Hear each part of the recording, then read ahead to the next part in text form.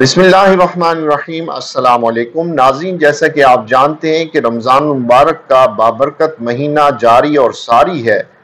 इसके तीसरे अशरे में मुसलमान एतकाफ़ में बैठते हैं। एतकाफ़ से मुराद माह रमज़ान के आखिरी दस दिनों में घर छोड़कर मस्जिद के अंदर ही क़याम करते हुए अल्लाह की इबादत में मशगूल रहना है। इस तरह बंदा अल्लाह ताला के करीब तर रहता है। लैलतुल कद्र को तलाश करता है और इसकी बरक़ात से मुस्तफ़ होता है।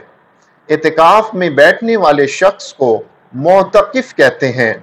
मोतकफ़ को मस्जिद से निकलने की इजाज़त नहीं, सिवाय क़ज़ाए हाजत या किसी और बेहद ज़रूरी काम के।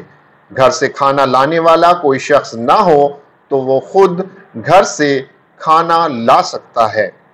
मगर ऐसे ज़रूरी कामों में भी इसे कम से कम वक्त सर्फ करना चाहिए।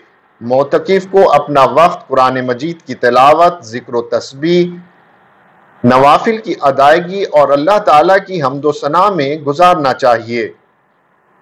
एहतिकाफ बैठना सुन्नत है, फ़र्ज़ नहीं है। ताहम अगर किसी शख्स ने नज़र मानी हो तो एहतिकाफ में बैठना फ़र्ज़ हो जाता है। शुक्रिया।